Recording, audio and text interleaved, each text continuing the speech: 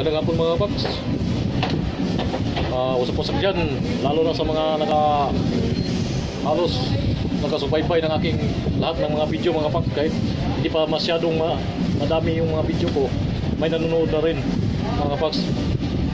Uh, kapon mga kapaps, nandito mga bata sa eskwela ito, nanguhuli ng kalapati mga kapaps.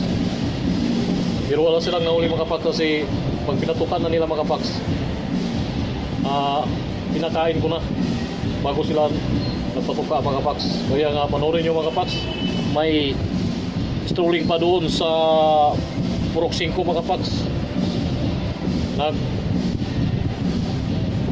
may ikot-ikot kami sa Purok 5 mga paks lugar ng mga bata mga paks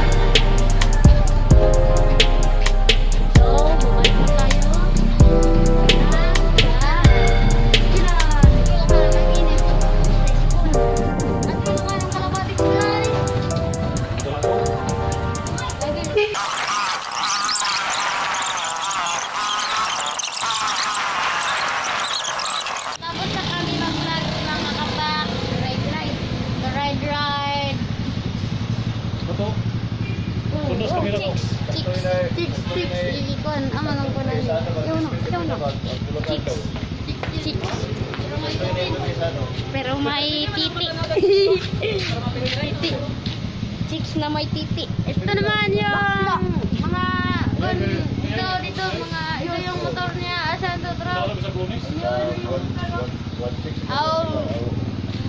Shout out mo, shout out mo. Shout out sa Tutor Family. Shout out sa Augusto Family yung sa Kagampang. Oh, yun, cut, cut.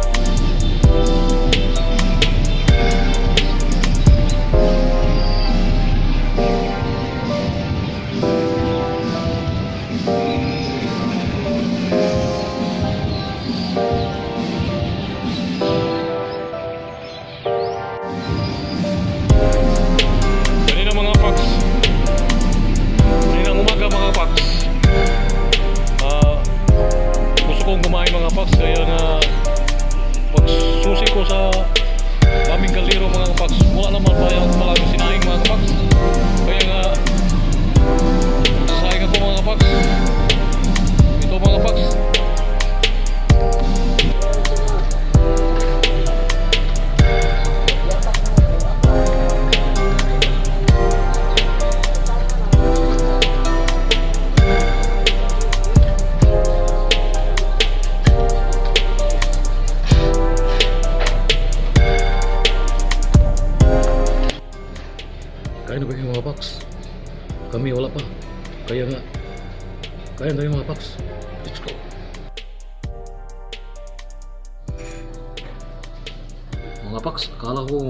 May, ni, may niluto na. Wala pala. Kaya magluto muna ako mga paks. Mga kapaks. Ito na mga kapaks. Nakaluto na ako mga kapaks.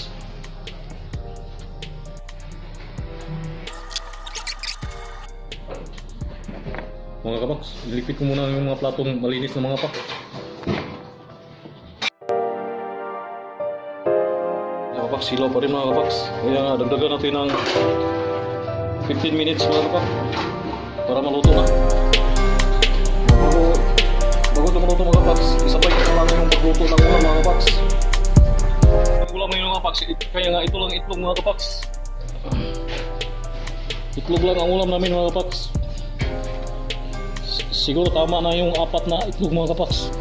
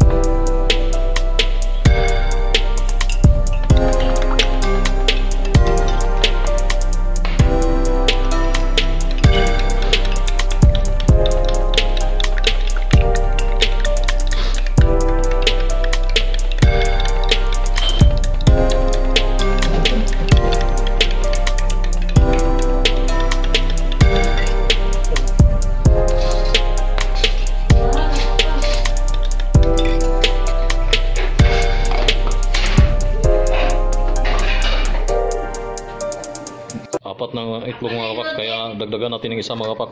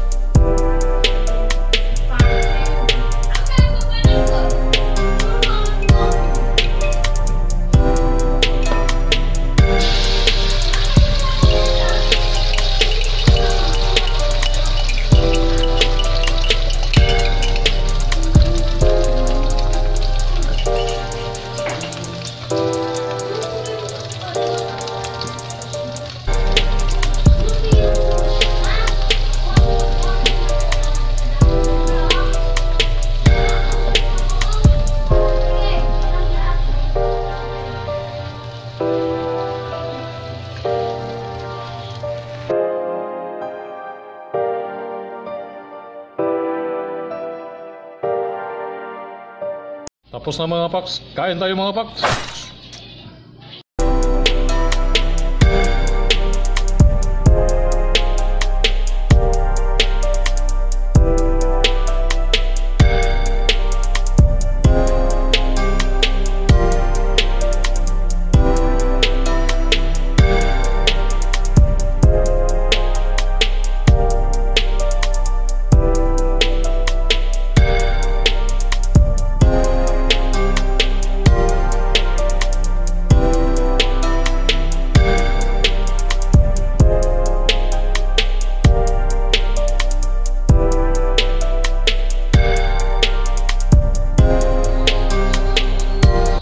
Alam mga paks. Tapos na kaming kumain mga paks. Um, Mangugas muna mga, ako ng mga plato mga paks.